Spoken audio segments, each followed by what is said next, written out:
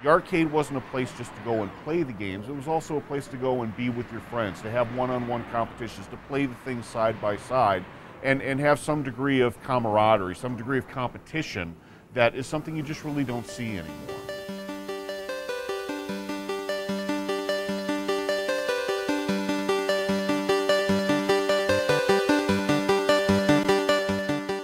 My name is Gary Vincent, and I am the president of the American Classic Arcade Museum that I founded back in 1998 and we incorporated in 2000. I've been in the coin-op arcade business for over 34 years. My name is Mike Stuhler. I'm the vice president of the American Classic Arcade Museum. I've been involved with the American Classic Arcade Museum since 2001. I've served on its board of directors since 2006 and have served as the vice president of the organization since 2013.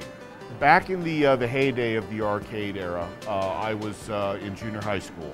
My involvement in the arcades were mainly to play the games, but also as a social experience. And that's something that's really lost on gaming today.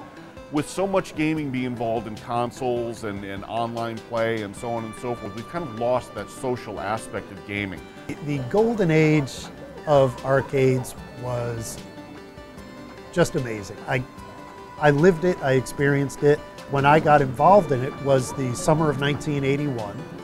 And here I am now, you know, 34 plus years later, still doing it. My heart really is with these classic games. This is what started it. A lot of people ask me, why, why do you enjoy these the classic games? They're so simple compared to everything today. I always tell them, well, they may be simple to you, but go play them because they were easy to play but difficult to master. You needed to go up, be able to put a quarter in a game, and get some enjoyment out of it.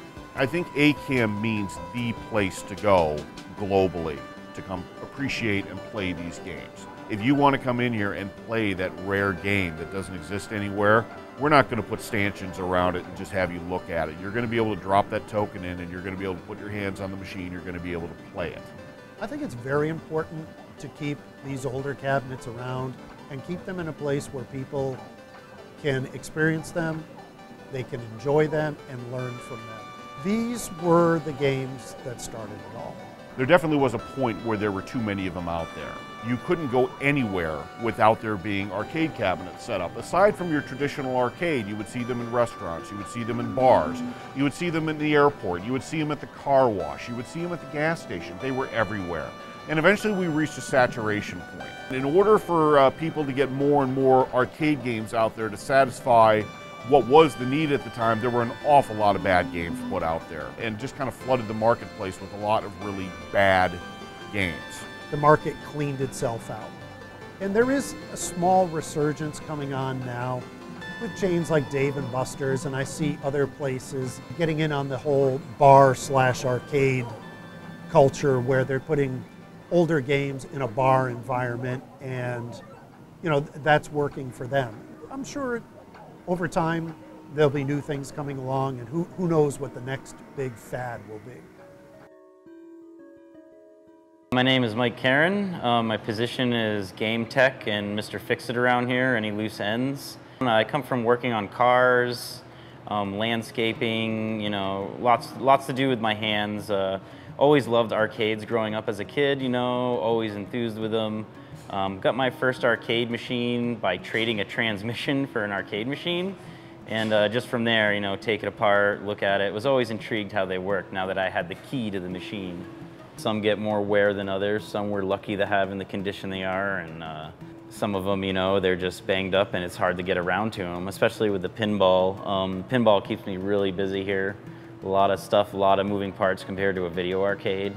You know, it's all time and money. Eventually, I hope we get to everyone, but uh, to keep them all running is a whole nother job in itself compared to just restoring them and making them look pretty. Keeping them running is uh, a whole lot of hours. we got the best of both worlds and it's really hard to find a lot of pinballs like this in one, one spot with a guy maintaining them. I really like the location out of Burlington, makes parking a lot easier. It makes it easier for families and people that I think really enjoy, you know, be able to come here with their family and have a beer and relax, have their kids play some games and be able to, uh, you know, share what they grew up with with their kids. These games were all encompassing. Everyone played these type of games in the arcades, from you know your traditional gaming nerd up through the, the high school jock. Everybody found a way to enjoy and relate to these games because they were so easy to engage and so easy to to to fall in love with. A lot of times the people today are using this as a form of escapism. It reminds them of their youth. It reminds them of of things that they experienced when they were younger and gets them away from the day-to-day existence. It gets them away from the problems of their life and such. And to me, that's not a culture. That's just a way of life. That's just the way life is.